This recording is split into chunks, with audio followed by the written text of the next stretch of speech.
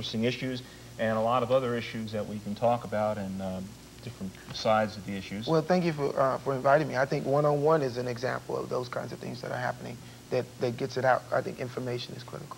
Thanks for having plug. me. Our, our guest has been Martin Jeffrey from the Roanoke uh, Valley chapter of the NAACP and TAP. Thank you for joining us on One on One. I'm Gene Moreno. We'll see you next time.